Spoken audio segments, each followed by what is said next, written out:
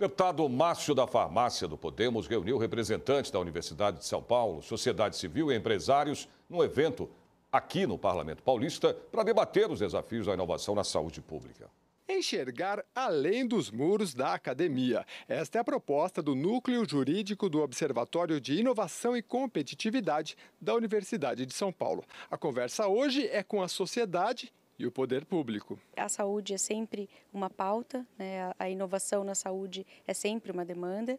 É, tivemos algumas aproximações, por exemplo, com o Instituto Butantan, com a farmacêutica MSD, e a partir de então a gente percebeu que é, faltava então o elo final, que é justamente agregar à sociedade esse valor e, portanto, nada mais correto do que se aproximar de um deputado estadual que representa a sociedade no estado de São Paulo. É, o deputado Márcio da Farmácia, sendo farmacêutico e sabendo dessa demanda também, abraçou a causa.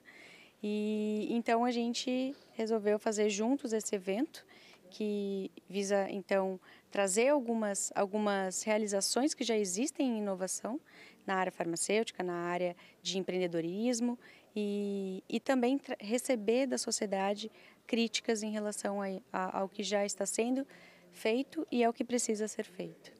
Sinira Marcondes é coordenadora de projetos de uma empresa farmacêutica, que, em parceria com o Instituto Butantan, trouxe a vacina contra o HPV para o Brasil há seis anos.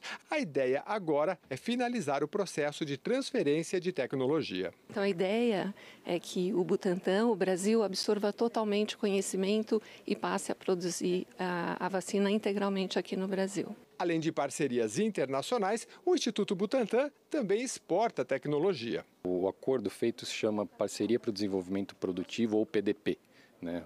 uma regulamentação do Ministério da Saúde, pela qual nós vamos incorporar uma tecnologia que a, que a MSD tinha e, e que agora está sendo disponibilizada no Brasil. Esse é um, um, é um dos modelos.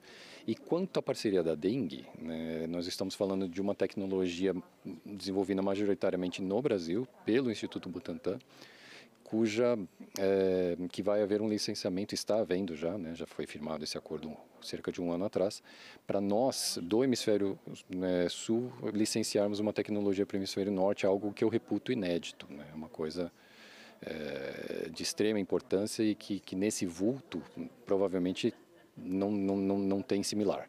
O deputado Márcio da Farmácia, do Partido Podemos, apoiador do evento, palestrou sobre introdução de experiências em saúde. A intenção é fazer que a LESP seja o ponto de partida justamente para levar para todas as cidades do estado de São Paulo.